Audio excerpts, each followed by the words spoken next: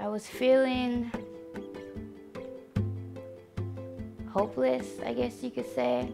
I was in and out of the hospital constantly. I was in there at least once a month. I was up late at night in pain, crying because it hurt so bad. I was like, just, just cut the part that hurt. Just cut it off and make it go away. It was just terrible. No one would believe me. It was always, oh, well, you say you're having this excruciating pain, but yet you can talk to us, you can look at us, and you can do all these different things. It was so frustrating and it made me so angry because it's like, it's my body. How on earth are you gonna tell me I'm not having pain when I'm just clearly telling you I'm having pain?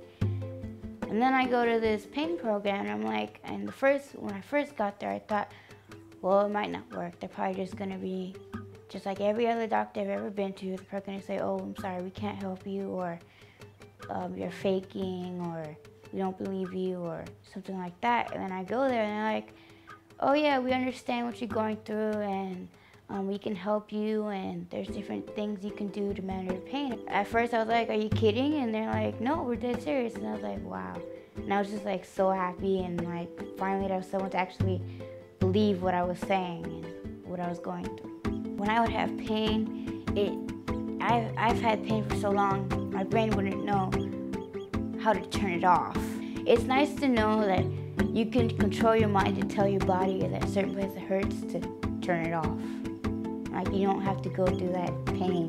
You can just you can just turn it off and it goes away. They would probably go from like a, a 10 to like maybe a 4 on a pain scale. It really does help. It's it's worth the drive. It's worth the trip. It's worth whatever you have to go through to get there. They gave me the tools that I needed, and um, yeah, I'm doing great.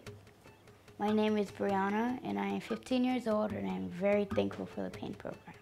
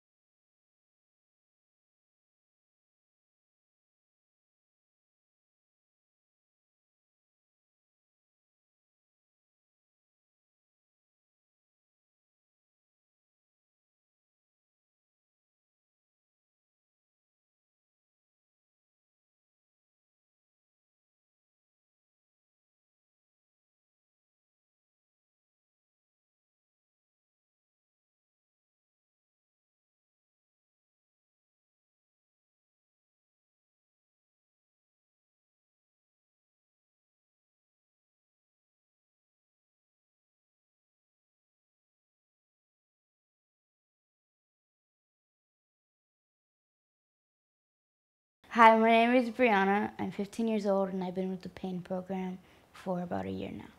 The words that come to my mind when I think about the pain clinic would be helpful and supportive.